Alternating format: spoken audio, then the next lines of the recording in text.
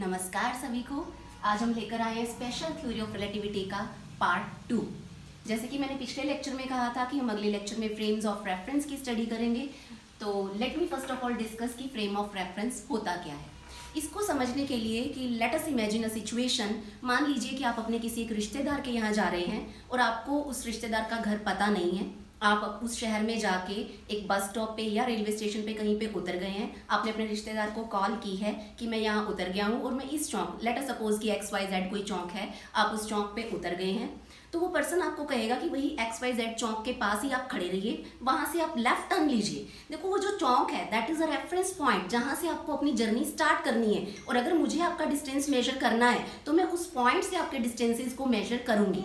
यानी कि उस रेफरेंस पॉइंट से आप कितनी दूर जा रहे हैं, इसको मेजर करने के लिए I will need one line along that direction जिस लाइन को मैं एक एक्सेस कहूँगी। फिर कुछ देर लेफ़्ट चलने के बाद आपका रिश्तेदार कहेगा कि आप राइट टर्न ले लीजिए। मतलब आप इस डायरेक्शन में चलना शुरू कर देंगे। लेकिन मैं डिस्टेंसेस मेजर कर रही थी इस डायरेक्शन में। तो उसी पॉइंट से इस डायरेक्शन में डिस्टेंसेस मेजर करने के लिए I will need a second line यानी कि मुझे दो लाइंस इस डायरेक्शन में चाहिए ताकि मैं आपके डिस्टेंस को, आपकी लोकेशन को मेजर कर सकूँ। उसके बाद आपका रिश्तेदार आपको कहता है कि आप स्टेयर्स चढ़ के ऊपर आ जाइए। ये हमारा घर है। जब आप ऐसे ऊपर चढ़ना स्टार्ट करेंगे तो मुझे इस डायरेक्शन में भी एक लाइन की ज़रूरत पड़ेगी। दैट मीन्स मुझे तीन लाइन्स की ज़रूरत पड़ेगी, एक इस डायरेक्शन में, एक इस डायरेक्शन में और एक इस डायरेक्शन में।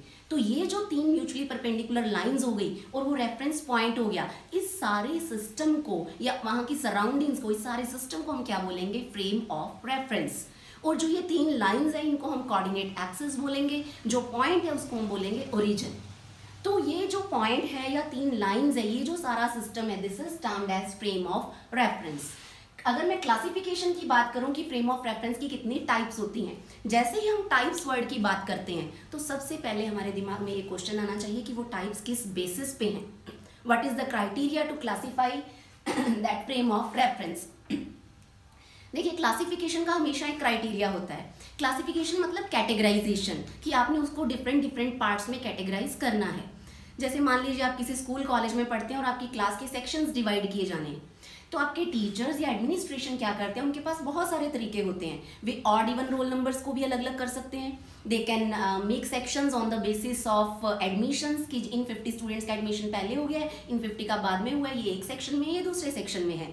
या बॉयज़ गर्ल्स के अलग अलग सेक्शंस बनाए जा सकते हैं, कुछ मेंटालिटी बेसिस पे बनाते हैं कि ये हमारे टॉपर्स हैं, ये हमारे एवरेज स्टूडेंट्स हैं। तो इस तरह से सबके पास एक बेस एक क्राइटेरिया होता है कैटेगराइजेशन करने का।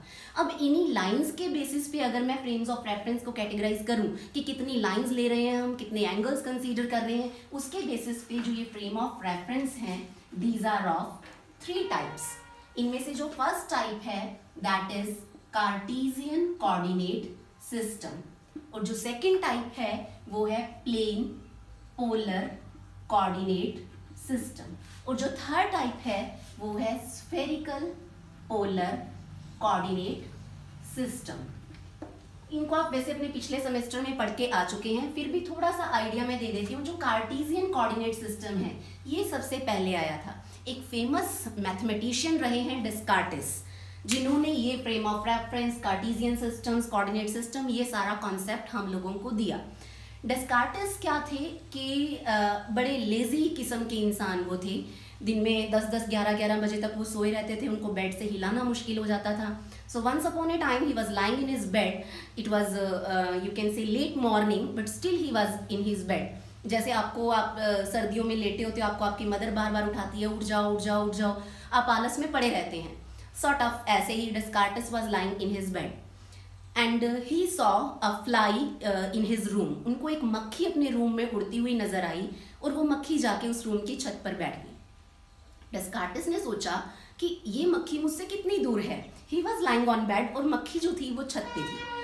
तो उन्होंने उसी वक्त अपने माइंड में एक फ्रेम तैयार कर लिया कि मैं जहाँ पे वो है, वो सपोज़ ओरिजन हो गया, वहाँ से इस डायरेक्शन में वो इतनी दूर है, इस डायरेक्शन में वो इतनी दूर है, इस डायरेक्शन में वो इतनी दूर है।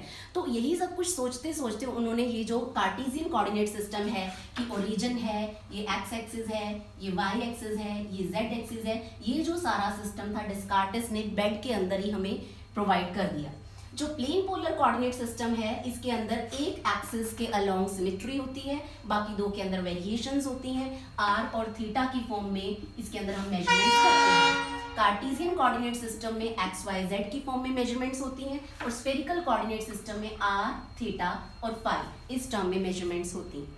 रिलेटिविटी के अंदर इन सिस्टम्स को अंडरस्टैंड करना और इस सबको कोरिलेट करना that is very necessary on the basis of अगर मैं बात करूँ कि न्यूटन्स लॉज कि न्यूटन्स के लॉ के अकॉर्डिंग अगर हम क्लासिफिकेशन करें फ्रेम्स ऑफ़ रेफरेंस की तो वो दो टाइप के फ्रेम्स ऑफ़ रेफरेंस होते हैं inertial frame of reference and non inertial frame of reference जिसके बेसिस पे हमारी पूरी रिलेटिविटी वर्क करती है। अगर मैं बात करूँ कि इनर्शियल फ्रेम्स क्या हैं या नॉन इनर्शियल फ्रेम्स क्या हैं इनर्शियल फ्रेम्स के अंदर क्या होता है कि न्यूटन भाई साहब का जो पहला लॉ है कि फोर्स ज़ीरो तो एक्सेलरेशन ज़ीरो, ये वैलिड होता है।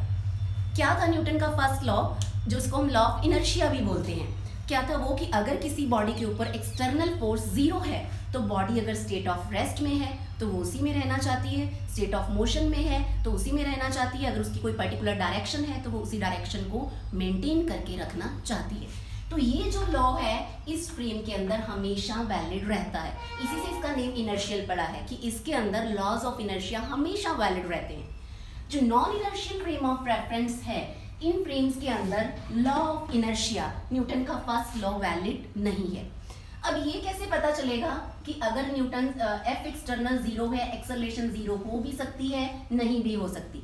अब ये कैसे पता चलेगा कि एक्सलेशन ज़ीरो है, नहीं है न्यूटन लॉ वैलिड हो रहा है, नहीं हो रहा? तो सीधी सी बात है कि अगर हमारा फ्रेम ऑफ़ रेफरेंस रेस्ट पे है, या कांस्टेंट वेलोसिटी से आपका फ्रेम चल रहा है तो हम उसे कहेंगे इनर्शियल फ्रेम मतलब फ्रेम एट रेस्ट और फ्रेम इन यूनिफॉर्म मोशन उसको हम क्या बोलेंगे? इनर्शियल फ्रेम ऑफ़ रेफरेंस और जो फ्रेम रेस्ट में नहीं होगा एक्सलरेटेड फ्रेम ऑफ़ रेफरेंस और de accelerated frame of reference उसको हम क्या बोलेंगे? Non inertial frame of reference यानी कि जो फ्रेम कांस्टेंट वेलोसिटी से चलता है फॉर एग्जांपल एक बस जा रही है रोड के ऊपर कांस्टेंट वेलोसिटी से ही जा रही है. सपोज़ वो 50 किलोमीटर पर आर की स्पीड से जा रही है तो उसको हम इनर्शियल फ्रेम मान सकते हैं. सकते, मान सकते हैं इट इज़ नॉट इनर्शियल फिर नॉन इनर्शियल के अंदर अगर वही चलती हुई बस सडनली ड्राइवर ब्रेक्स लगानी शुरू कर दे, या वो बस रेस्ट पे थी और सडनली एक्सलरेट होनी शुरू हो जाए तो वो बस क्या बन जाएगी? Non inertial frame of reference क्योंकि ऐसी बस में मान लीजिए आपने एक बॉल रखी हुई है और जब बस को एक, और वो बॉल भी रेस्ट पे है, आप भी बस के अंदर रेस्ट पे है, बस भी रेस्ट पे है। उस टाइम पे बस क्या है? इनर्शियल फ्रेम है। आप उस बॉल को कोई भी जर्क देंगे, कोई भी फोर्स देंगे, वो उससे चलना शुरू कर देगी। वो रेस्ट पे थी तो वो रेस्ट पे ही थी जब तक आपने फोर्स नहीं लगाई। यानी कि फोर्स ज़ीरो एक्सलरेशन ज़ीरो लेकिन अगर वही बस चलना शुरू कर दे तो एकदम से झट, बस के लगे उस एक्सलरेशन की वजह से, जो बस के अंदर एक्सलरेशन आई, उसकी वजह से वो बॉल के अंदर भी थोड़ी मूवमेंट आ जाएगी। लेकिन आपने कोई फोर्स बॉल के ऊपर नहीं लगाई है। दैट मीन्स आपकी फोर्स ज़ीरो होने के बावजूद भी एक एक्सेलरेशन उस बॉल में प्रोड्यूस हो गई ड्यू टू फ्रेम और वो फ्रेम कौन सा है? Non inertial frame of reference तो ये थी सारी की सारी स्टोरी फ्रेम ऑफ़ रेफरेंसेस की। समटाइम्स इसमें एक क्वेश्चन एग्ज़ाम में पूछ लिया जाता है कि is earth inertial frame of reference आपसे ये पूछा जाए कि अर्थ इनर्शियल फ्रेम है या नहीं है। देखो, जो अर्थ है, वो उसके पास दो टाइप की मोशंस है rotational motion around its own axis and revolution around the sun और जो, जब सर्कुलर मोशन आ जाती है, तब एक्सलरेशन इज़ डेफिनेटली देयर क्योंकि सेंट्रीपिटल एक्सलरेशन के बिना कोई भी ऑब्जेक्ट सर्कुलर मोशन में मूव कर ही नहीं सकता। और एक्सलरेशन है तो फ्रेम इनर्शियल नहीं हो सकता। मतलब जो अर्थ है, वो ना तो रोटेशन के अकॉर्डिंग इनर्शियल फ्रेम है, ना ही रेवोल्यूशन के अकॉर्डिंग इनर्शियल फ्रेम है। हाँ बट अगर आप उसकी एक्सलरेशन कैलकुलेट करें इन रोटेशनल मोशन या रेवोल्यूशन जो कि आप पिछले सेमेस्टर में करके आ चुके हैं, वो वैल्यू बहुत ही स्मॉल आती है। Ten to the power minus three ten to the power minus two metres per second square बड़ी स्मॉल वैल्यू वो आती है। इतनी स्मॉल वैल्यू को बींग प्रेजेंट ऑन अर्थ हम नेग्लेक्ट कर लेते हैं और हमको अर्थ को इनर्शियल फ्रेम हम मान लेते हैं।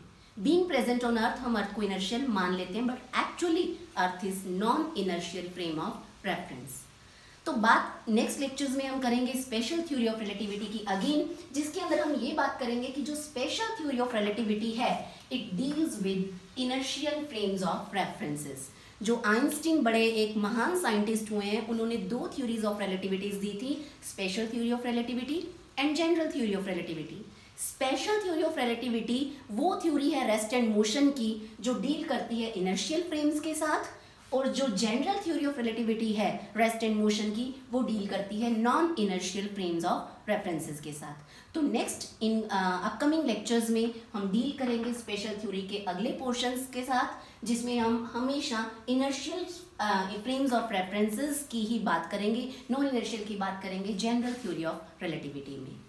So this was all about frames of references. Thank you. Shukriya. Take care. Bye.